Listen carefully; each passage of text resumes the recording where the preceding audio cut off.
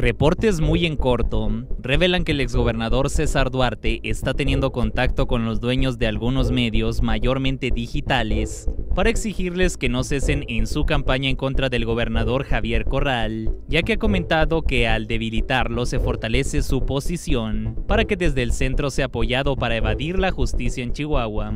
César Duarte dijo estar muy pendiente de los medios, a los que apoyó generosamente durante su sexenio, y ahora les pide reciprocidad tanto en esta ciudad capital como en Ciudad Juárez, el grupo duartista ha fijado como su trinchera a medios de internet, inclusive algunos nacionales impresos a los que les ha dado la instrucción de replicar todo tipo de notas donde se cuestione al gobernador Corral, inclusive trascender todos aquellos rumores que debiliten a la actual autoridad estatal.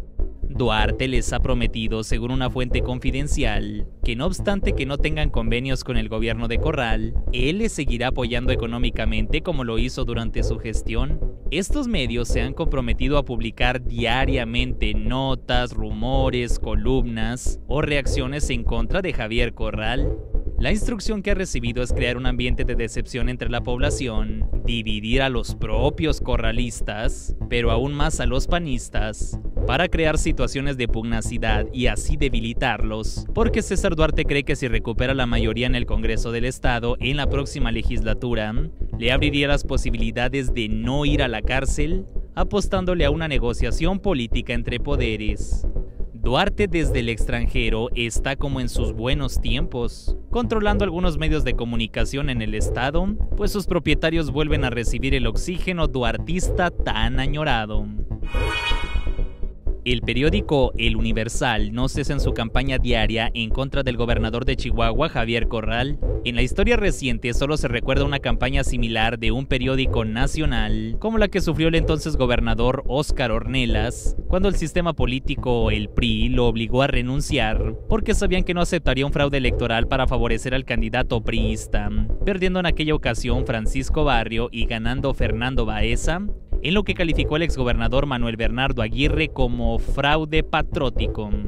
El periódico El Universal ataca al gobernador por sus vacaciones, sus mascotas, sus viajes o por sus pasatiempos personales. Una muestra que esa campaña es repudiada hasta por sus lectores, los encontramos en sus propias páginas.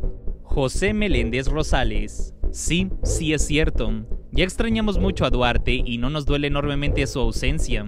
Dios quiera y pronto esté aquí con nosotros, atentamente, usuarios de la Penitenciaría Estatal del Estado de Chihuahua. Caballo perfeccioso, ¿quieren que conteste con dinero? Ya tuvieron de sobra con Duarte, dejen trabajar. Chihuahua está contento con el gobierno que eligió. Cuando el año es lleno hasta los murciélagos fuman, dice una máxima campesina. Rafael Mora, Don Universal con sus noticias y reportajes parece competencia de TV y novelas, no sean chismosos y tendenciosos. Tenía entendido que eran un periódico. Guillermo Piña. ¿Qué le pasó al Universal? Es obvio su interés de golpear al PAN, a Corral, a Josefina. Y pues de a cómo les tocó el moche del PRI, Arturo Vargas.